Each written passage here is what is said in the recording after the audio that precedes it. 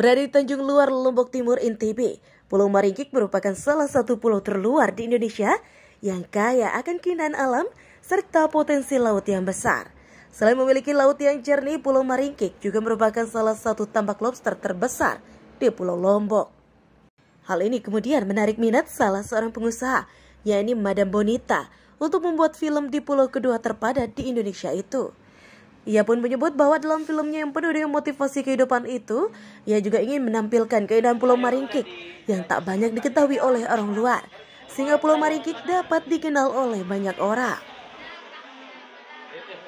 Kebetulan Maringkik ini adalah ada ke kesamaan dengan daerah kelahiran saya itu di mana rumahnya masih daerah Bugis dan historinya Pumeringki ini juga memang orang Bugis aslinya.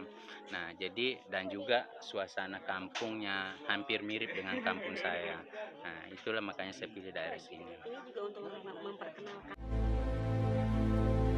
Disebutkannya bahwa dalam film yang menceritakan tentang kehidupannya itu, ia akan memberikan sebuah motivasi kehidupan tentang dunia bisnis yang digelutinya dalam film yang berjudul Sentuhan Terakhir itu, tidak hanya bercerita tentang kisah cinta, tetapi juga bercerita tentang kehidupannya sedari kecil di daerah pinggiran, di mana ia kemudian mampu untuk bangkit dan sukses dalam dunia bisnis.